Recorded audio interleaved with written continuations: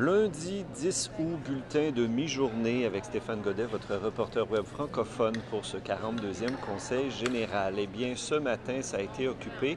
On nous a présenté les partenaires internationaux, les partenaires écuméniques et les partenaires interreligieux de l'Église unie du Canada qui sont ici comme invités à ce Conseil général.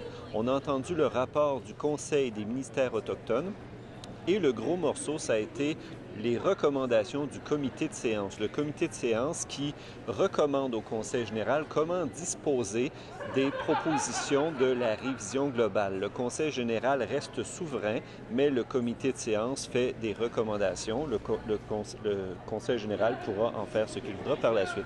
Alors, le comité de séance propose que euh, le Conseil général adopte la première proposition sur le programme Discerner l'esprit qui vise à financer des nouvelles initiatives, des nouveaux projets d'église et la transformation des églises déjà existantes. L'adoption aussi des euh, recommandations en ce qui a trait au ministère euh, autochtone.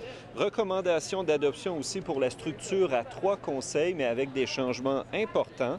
La création d'un bureau ministériel au niveau national, la supervision et le soutien des pasteurs qui demeureraient au niveau régional, comme c'est le cas maintenant, et euh, la mise sur pied d'un instrument pour déterminer combien de régions il y aura. Question bien importante et que plusieurs personnes se posent.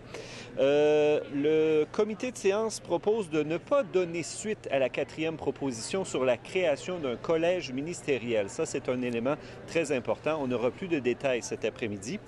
Sur la cinquième proposition, la création d'une association ministérielle, le comité de sciences propose l'adoption.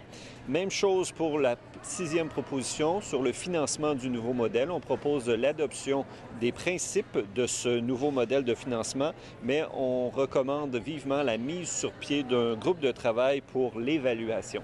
Et pour ce qui est de la dernière proposition, la proposition 7 sur les renvois, le euh, comité de séance propose de déférer cette proposition-là au comité des affaires. Nous aurons plus de détails cet après-midi puisqu'une grande partie de l'après-midi va être consacrée à la suite des choses, euh, des recommandations du comité de séance sur les propositions de la révision globale.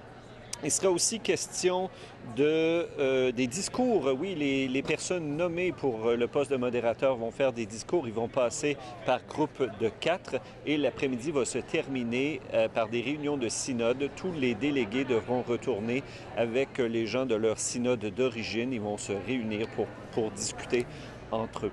Continuez de nous suivre, Facebook, gc42.ca live et égliseunie.ca. À plus tard.